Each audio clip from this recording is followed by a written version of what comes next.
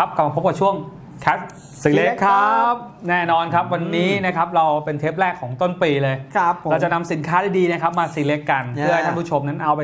เรียกตัดสินใจในการซื้อสินค้าได้ เยี่ยมเลยอะวันนี้นะครับคผรับมจะนำเทคโนโลยีใหม่ล่าสุดอืมจากทาง Intel มาอืมเป็น PC หรือ Desktop แนวใหม่เนาะใช่ครับพี่มีเป็นแนวใหม่ด้วยเหรอเนี่ยแนวใหม่เลยครับโอ้โห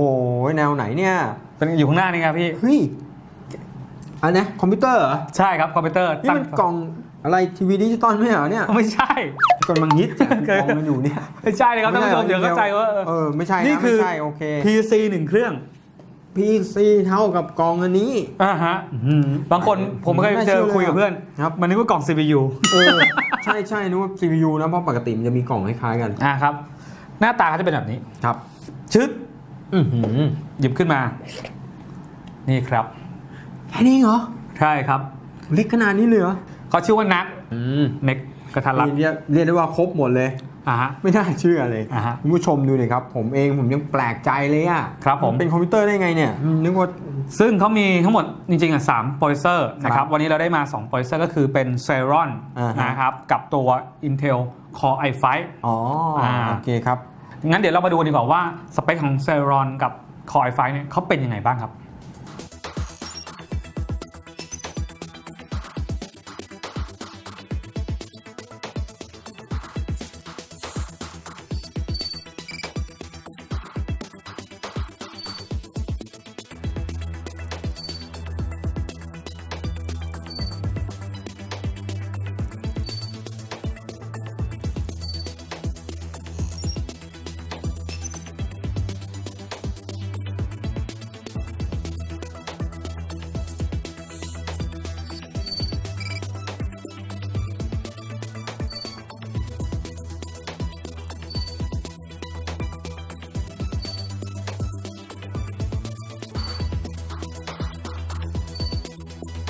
เป็นไงครับพี่โป้อื้อหือ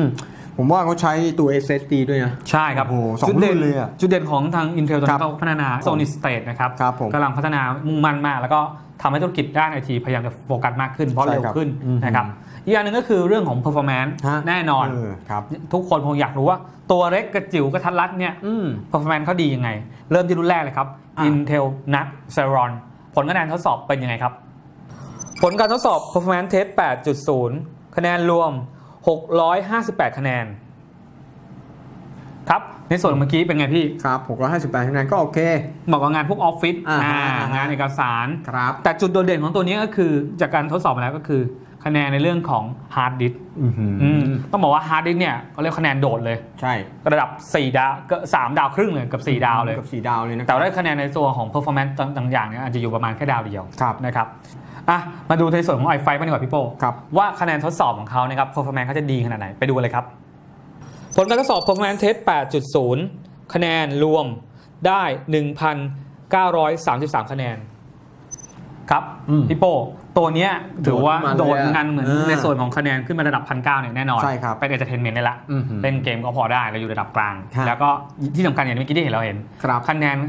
disk mark หรือคะแนนอืมฮาร์ดดิสก์เนี่ยเป็น 4 ดาวเลยใช่ตอบโจทย์เลยครับ คนที่ต้องการโอนถ่ายข้อมูลเนี่ยผมลองแล้วเร็วมาก เร็วมากเลยครับสะใจดีอือฮึเอาละมาดูที่ไฮไลท์ของตัวนี้ดีกว่าครับ จุดเด่นสำคัญของตัวนี้ก็คือเรื่องของดีไซน์อืมอ่าละมาดูที่ดีไซน์ตัวแรกก่อนเลยอ่านะครับ ตัวนี้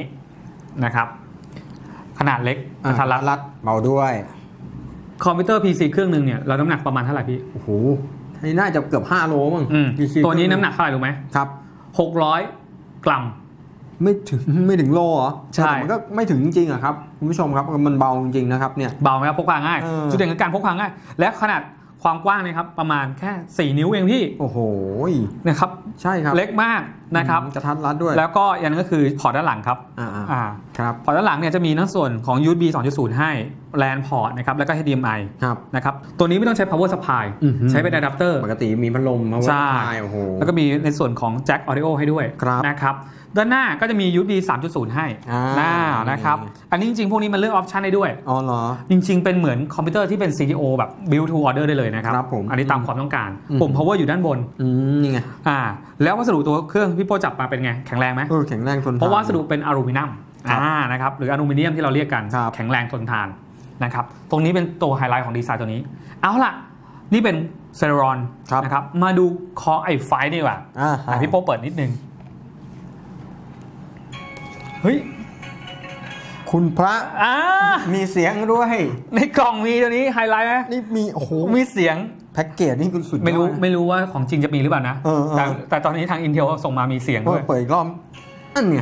อ่าเราเดี๋ยวหาว่าลูกโกหกกันสร้างเสียงลุงน้องผมเล่นทั้งวันอะอ๋อเหรอออเปิดทั้งวันเลยครับแต่จะหมดแล้วมั้งเนี่ยอะอะมาดูตัวนี้ครับหยิบขึ้นมาอื้อหือตัวนี้นะครับดีไซน์ตัวนี้นะครับออกแบบมาคล้ายกันคล้ายกัน แต่ว่ามีพอร์ตด้านหน้าเปลี่ยนดูที่พอร์ตด้านหน้าครับพี่เป็น USB 3.0 2 พอร์ตแล้วอ๋อมีสองพอร์ตเมื่อกี้เรามีพอร์ตเดียวถูกไหมเทียบกันเลย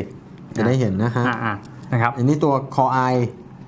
อันนี้คือ Celeron อ่านะนี่หนึ่งพอร์ต อันอันนี้นี้สองพอร์ตโอเคอ่าแล้วดูด้านพอร์ตด้านหลังครับ พอร์ตด้านหลังอะต่างกันเลยครับผม อันนี้มีพอร์ต HDMI ใช่ไหมครับ ครับ ต่อได้มอนิเตอร์หนึ่งตัว แต่ตัวนี้มี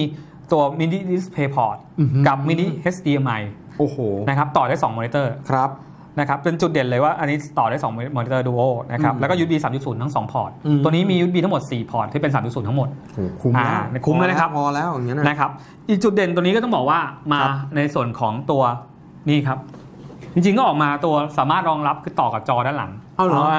สามารถต่ออย่างนี้โเป็นพวกร้านค้าปลีกเขาไม่ได้เลยนะเหมาะมากเลยถูกไหมเออร้านกาแฟหรืออะไรเงี้ยเออหรือพวกอ่าพวกนี้ต่อเออนะครับต่อด้านหลังได้ต่อด้านหลังของจอมอนิเตอร์ครับทำเป็นเหมือนเครื่อง all in one ใช่ใช่เล็กใช่ๆได้เลยใช่นะครับเอาละเราพูดในตัวของดีไซน์ไปแล้ว มาครับไฮไลท์คุณสมบัติพิเศษฮะอะพี่โป้ถือไปเดี๋ยวผมจะอธิบายโอเคคุณสมบัติพิเศษ คุณสมบัติพิเศษแรกที่ ตัว Intel นักหรือตัวนี้นะครับที่ครับ Intel เขาโฟกัสเลยอืมก็เรียกว่าเป็นคอมพิวเตอร์รุ่นใหม่ท่านผู้ชมนะครับแนวทางรุ่นใหม่ก็คือ ตัวนี้จะเน้นความทนทานมากขึ้นอืมทนเพราะอะไร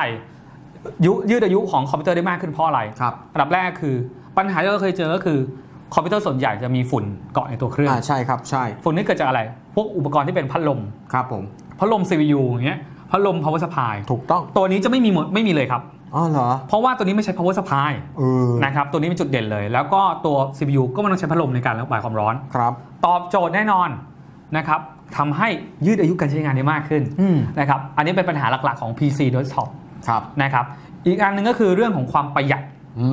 มประหยัดแรกก็คือประหยัดพื้นที่แน่นอนแน่นอนแหละเห็นเลยเห็นภาพชัดเจนถูกไหมครับนะครับประหยัดในส่วนของพลังงานด้วยโอ้โหนี่คือสิ่งสำคัญครับท่านผู้ชมเวลาเราใช้พลังงาน PC PC หนึ่งเครื่องฮะ power supply เท่าไหร่ครับ ก็โอ้โหหลายวัตต์อยู่อ่าอันนี้ใช้แค่อะแดปเตอร์นะฮะอืม65 วัตต์อืมใช้ไฟแค่ 19 โวลต์อ๋อเหรอเรียกว่าประหยัดเงินในกระเป๋าท่านผู้ชมแน่นอนครับ โอ้โห ยิ่งว่าถ้าเกิดเป็นพวกหน่วยงานและองค์กรเนี่ยตอบโจทย์เลยพี่โป้อืมเรียกว่าคุ้มแน่นอน ครับ อีกอันหนึงก็คือการประหยัดเรื่องเวลาพี่โป้ครับเหมาะมากก็คือปัญหาที่เราเจอก็คืออะไรครับอืมเวลาการใช้งาน เวลาถ้าเกิดสมมติว่าเราปรับเปลี่ยนอุปกรณ์ตรงเนี้ยสามารถ ประกอบเองได้เลย หรือครับแก้ไขได้เลยอืมเพราะมันแค่เปิดตัวน็อตด้านใต้นะครับแล้วก็ปรับอืมเปลี่ยนอุปกรณ์เหรอประกอบเองได้เลยครับโอ้โหตรงนี้ไขน็อตไม่กี่ตัวเอง เออ มีแค่สี่ตัวเองนะฮะครับ จริง ๆ ตัวนี้จะเป็นเมนบอร์ดกับ CPU ในติดกันครับนะครับ แล้วก็อัปเกรดได้ด้วยไหมอืมอัปเกรดได้ด้วย เพราะใส่ฮาร์ดดิสก์ขนาด 2.5 ได้อืมนะครับ ไม่ใช่เป็นมินิตัวฮาร์ดดิสก์หรือมินิตัว solid state อืมตัวนี้เป็นฮาร์ดดิสก์ solid state แบบ 2.5 ครับ นะครับ memory ทั้งทั้งสองคนต่างนิดนึง ถ้าเป็น Celeron เนี่ย จะสามารถใส่ได้ 1 สล็อตครับ ก็8กิ๊กอืมแต่ถ้าเป็นตัวนี้ Core i5 เนี่ยใส่ได้2สล็อตก็คือโอ้โห16กิ๊ก16กิ๊กเลยนะนะครับครับต้องตอบโจทย์เลยครับนะครับแล้วอีกอย่างหนึ่งคุณสมบัติพิเศษอันหนึ่งก็คือเรื่องของ in- ตัวนี้เป็นมี wireless และบลูทูธในตัวอ๋อรองรับ Wi-Fi ครับ หรือ Wireless Display อือหือของทาง Intel แน่นอนตอบมันติมีเดียตอบโจทย์เลย โอ้โห สบายเลยดูดินะฮะเนี่ยนะครับสำหรับพกพาการใช้งานแบบทั่วไปเลยทุกอ่าอย่างเลยอนะครับครับ ต้องต้องต้องบอกว่าตอนนี้นะครับ เหมาะมากนะครับถ้าเกิดท่านผู้ชมท่านใดกำลังจะหาคอมพิวเตอร์รุ่นใหม่ไปใช้งานนะครับในเชิงธุรกิจ หรือเชิงในเรื่องมัลติมีเดีย แน่นอนครับตัวนี้ อืมแล้ววารันตีล่ะ เออกันเป็นไงบ้างมาวันตีวันวันตีตัวนี้อยู่ที่ 3 ปีเต็มครับ โอ้โหเรียกว่าคุ้มค่าแน่นอนไม่ต้องห่วงเลยหายห่วงเลย limited สามปีวารันตี3ปีเต็ม ครับ นะครับซึ่งทาง Intel เองกระซิบมาบอกว่าราคาอะไรพวกนี้นะครับที่เราขึ้นไปตอนแรกเนี่ยสามารถเพิ่มเติมได้ คือตอนนี้ i3 ก็มี Core i5 หรืออืม Core i3 เนี่ยนะครับฮะสามารถเลือกตามความต้องการครับนะครับ i3 เนี่ยราคาอยู่ประมาณ 16,900 บาทนะครับ Celeron Celeron เนี่ย19,900บาทอ่าไม่นะครับแพงมาก i5 ที่เราเอามาในวันนี้19,900บาท ต้องตอบโจทย์ว่า 1. ปัญหาที่เราเจอในส่วนมากก็คือคอมพิวเตอร์เนี่ยพังบ่อยเพราะจากอะไร power supply อืม hard disk ใช่ไหมฮะใช่ครับอุปกรณ์ที่ทำให้ฝุ่นเกาะนะตัวนี้แก้ปัญหาหมดเลยอืมนะครับถ้าท่านใดที่สนใจในส่วนของ VDI ล่ะครับที่ไหมพี่โป้ใช่ส่วนครับมากคนส่วนมากตอนเริ่มสนใจเรื่องของ VDI แล้วอืมตัวนี้ตอบโจทย์ไหมตอบโจทย์ครับผมอืมอ่าทุกอย่างก็อยู่บนนี้เรียบร้อยนะฮะอืมเคลื่อนไหวได้พกพาไปไหนมาไหนสะดวกนะครับหรือบางคนเนี่ยที่ Intel แนะนำมาว่าอาจจะทำเป็นเหมือนกับตัวดิจิตอลไซเนตฮะเอาไปติดกับจออ่าอันรันพวกมีเดียมูวี่เพราะได้มันมีข้างหลังให้ติดนี่ ใช่ครับนะครับทำงานต่อเนื่องนานๆได้ด้วยใช่ครับไม่ต้องกังวลเลยครับ เพราะนี่คือ Intel NUC นะครับเทคโนโลยีใหม่ล่าสุดจาก Intel ครับ แล้วท่านผู้ชมนะครับสามารถเข้าไปดูข้อมูลในเว็บไซต์ของ Intel ได้เลยนะครับวันนี้ต้องขอบคุณทาง Intel Thailand ที่ส่งอุปกรณ์สินค้าดีๆมาให้เรารีวิวกันได้นะครับอื้อหือเอาละหมดแล้ววันนี้อ่ารับรองว่าถูกใจท่านผู้ชมแน่นอนครับ แต่ช่วงต่อไปเลยครับพี่เป็นเดี๋ยวช่วงอะไรอ่าวันนี้ไปต่อกันที่ช่วง Cat Business ครับผม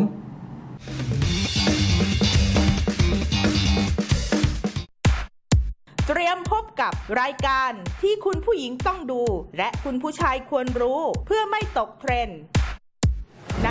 Gossip Social รายการที่เป็นมากกว่าการบอกเล่าข่าวสารในโลกโซเชียล พร้อมจับทุกประเด็นร้อนในโลกโซเชียล มาอัปเดตให้คุณ เรื่องไหนอิน และฟินเวอร์ในรอบสัปดาห์ใน In Trend พร้อมข้อมูลโปรโมชั่นดีๆ ที่ไม่ควรพลาด งานไหนลดแลกแจก แถม เรารายงานคุณก่อนใคร ถ้าคุณต้องการ รู้ลึก รู้ทัน โลกโซเชียล แบบไม่ตกเทรนต้อง Gossip Social คุณสามารถติดตามรายการได้ที่ช่อง Cat Channel ทุกวันอาทิตย์เวลา 12 นาฬิกา 30 นาทีถึง 13 นาฬิกา